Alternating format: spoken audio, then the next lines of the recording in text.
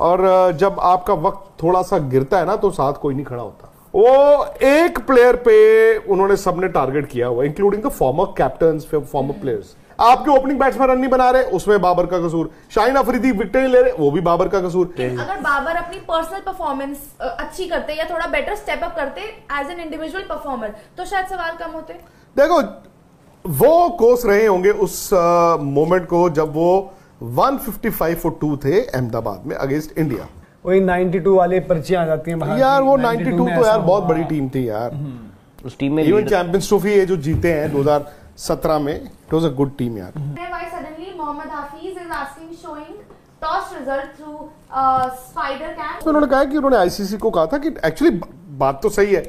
आपने बोला heads is the call सिक्का दिखाना भी चाहिए।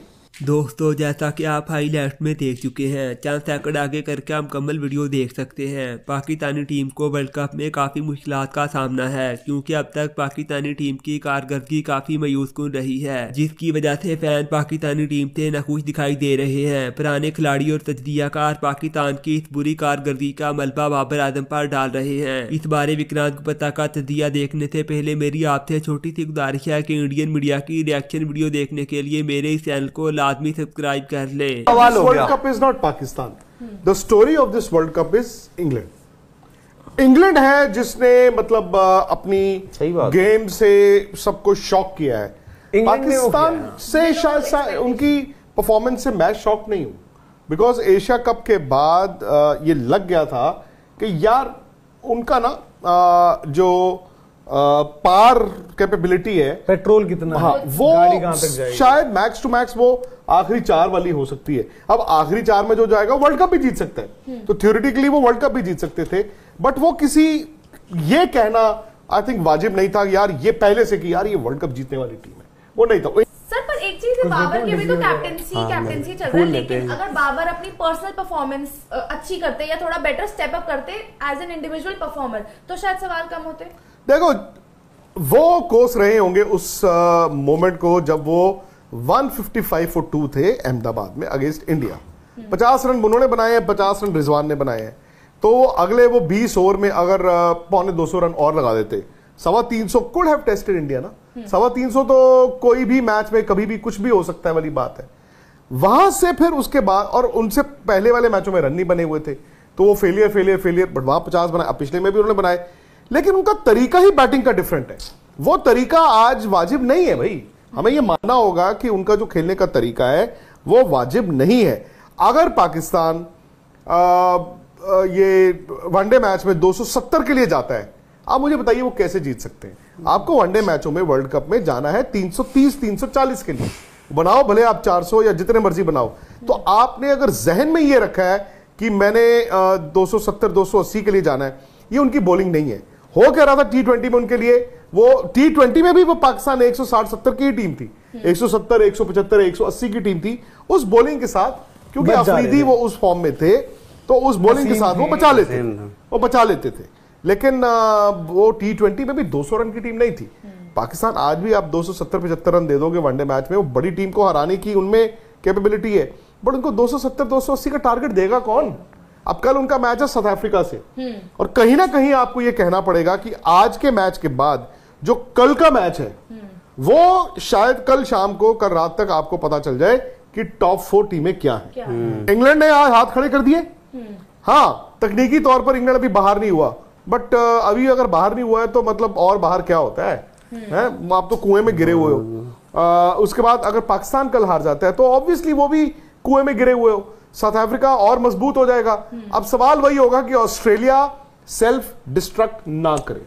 वो टॉप चार में सर ये भी ऑस्ट्रेलिया पाकिस्तान का कुछ चल रहा है? क्योंकि अगर ऑस्ट्रेलिया अभी मैचेस हारे और पाकिस्तान कल का मैच जीते वो है कि ऑस्ट्रेलिया नहीं, वो तो ठीक है। पड़ेगा। वो तो फिर ठीक है। शायद कुछ वहाँ पे मामला भाई बन भाई अब मैं कहता हूँ अफ़गानिस्तान श्रीलंका है। श्रीलंका अपने चारों मैच जीत जाए तो श्रीलंका भी थ्रू है। को यार देखो ये तो है हमारे जो मुल्क होते हैं हम चार चार साल के वर्ल्ड कप के टाइमलाइन पे चलते हैं। जब वर्ल्ड कप नहीं जीतते हैं तो हम ये भूल जाते हैं कि तीन चार साल तो भाई अ, क्रिकेट चलाने वालों की भी गलतियाँ होती हैं। सो पॉइंट ये है कि अ, जब भाई साहब सिक्का चल रहा होता है तो सब ठीक चल रहा होता है। और जब आपका वक्त थोड़ा सा गिरता है ना तो साथ कोई नहीं खड़ा होता। बट मैंने इतना ज़रूर देखा है कि वहाँ पर मीडिया सोशल मीडिया बार बार कहता हूँ वो एक प्लेयर पे उन्होंने सबने टारगेट किया हुआ including the former captain former players भाई वो इसलिए बिकॉज़ उस कप्तान ने बाबर ने तीन साल अपने हिसाब से कहा ये चाहिए ये चाहिए ऐसा होगा वैसा होगा। एंड uh, वो टीम जो लेकर गए को पता चला कि उस टीम के पास तो ताकत ही नहीं है।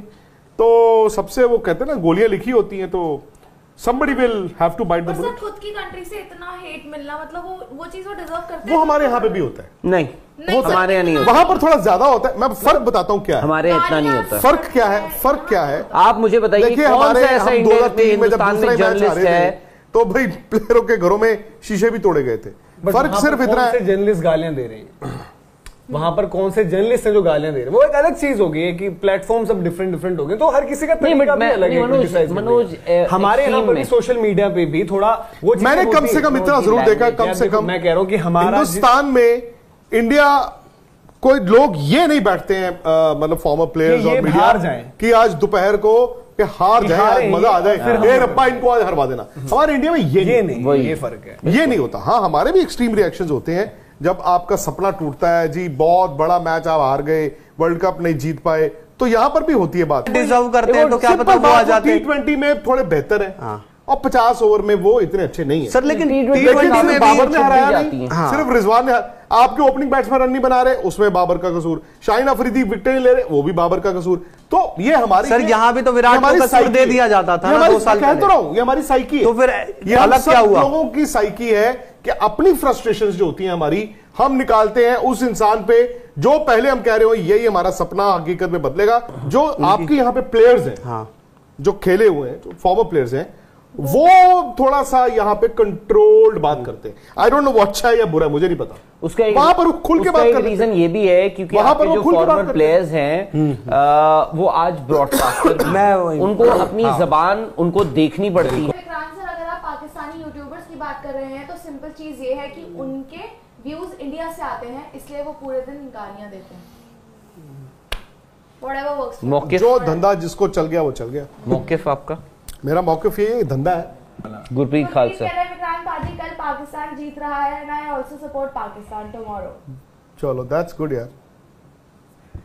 बहुत मज़बूत हैं आप। हम्म? मज़बूत दिल। नहीं देखो वर्ल्ड कप नहीं तो कल खत्म है। क्यों? League stages if Pakistan lose tomorrow South Africa win league stage is over बिल्कुल। फिर आपके आखिरी चार जो हैं वो आपके सामने हैं। निले कह रहे हैं Vikrant sir why every time Pakistan loses game initially and then they play almost knockouts against South Africa team and then they hope कुदरत का निज़ाम। वैसे इस बार तो किसी ने बोला नहीं है ये इस लफ्ज का इस्तेमाल नहीं किया। हम्म, पर ये जुड़ गई ना इनकी टीम के साथ। वही 92 वाले पर्चियाँ आ जाती हैं यार वो 92 92 में तो यार बहुत बड़ी टीम थी यार। उस टीम में इवन चैंपियंस ट्रॉफी ये जो जीते हैं 2017 में it was a good team यार। गर्व सेठी कह रहे हैं why suddenly Mohammad Hafeez is asking showing toss result through spider cam कह रहे कि टॉस पे उन्होंने कहा। हाँ टॉस पे उन्होंने कहा कि उन्होंने आईसीसी को कहा था कि एक्चुअली बात तो सही है। आपने बोला हेड्स इज़ द कॉल सिक्का दिखाना भी चाहिए।